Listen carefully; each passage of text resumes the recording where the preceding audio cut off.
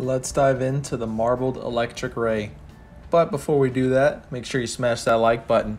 If you're new here, I'm All Things Marine. Go ahead and click that subscribe button if you love the ocean as much as I do, and make sure you smash that notification bell as well so you don't miss out on any of the weird ocean creatures that I talk about.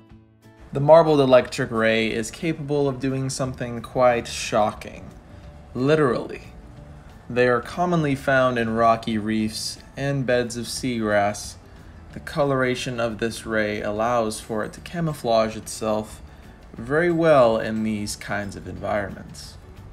These electric rays do not have a venomous spine like normal stingrays do, but instead they use electric organs found around their pectoral fins to give a powerful shock to prey or predators. The shock can be as much as over 200 volts. These rays have the electric organs right at birth when they are only 5 inches long. The females are larger than males and the maximum size is around 2 feet. Also, the females outlive the males.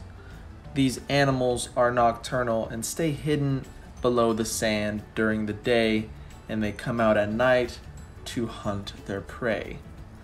They have only been seen around Ireland and Great Britain and their other name is the marbled torpedo ray.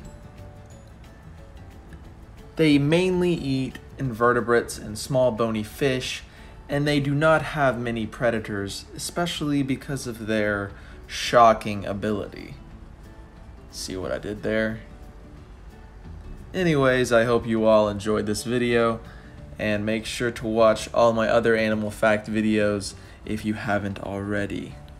Thank you all for watching All Things Marine.